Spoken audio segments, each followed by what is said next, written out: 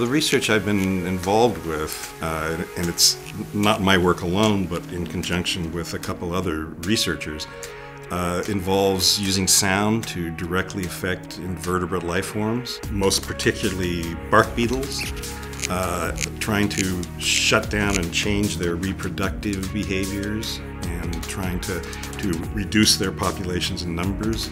And so, after about a decade of research, we came to develop this system that was then patented.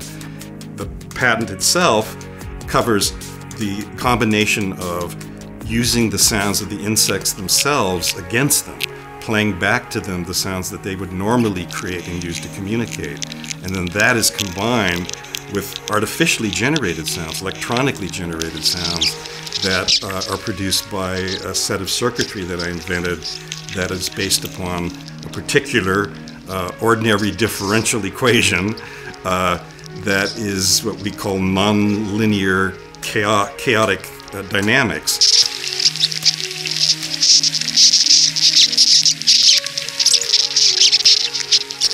This is the prototype that allows a lot of different initial conditions to be played with.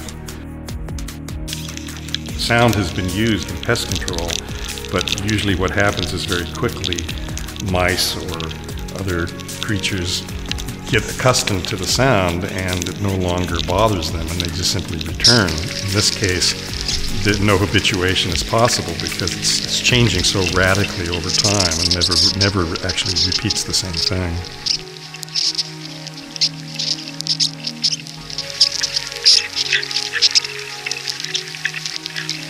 the process that was involved in my coming to do this kind of work is a polemic that I'm trying to assert, which has to do with the role that artists can play in conjunction with the sciences. Science is probably the most important survival uh, strategy that humans have come up with. But in order to do that, they, it has to be deeply rigorous. There's also a downside to that, which as the, the, the philosopher and, and biologist used to teach at this university, Gregory Bateson, uh, used to say uh, that rigor alone is paralytic death and imagination alone is insanity.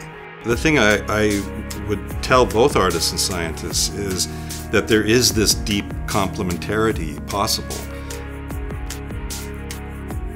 So most recently, I'm working with a, one of my graduate students in trying to miniaturize all of this technology uh, to put it into a form which would be uh, small enough that we could implement this in very, very large numbers of trees. And one of the ways to do that is to use a, a local FM radio broadcast where we just need to put an amplifier and a transducer on each tree and then we can simply broadcast the sounds outwards into a fairly large area.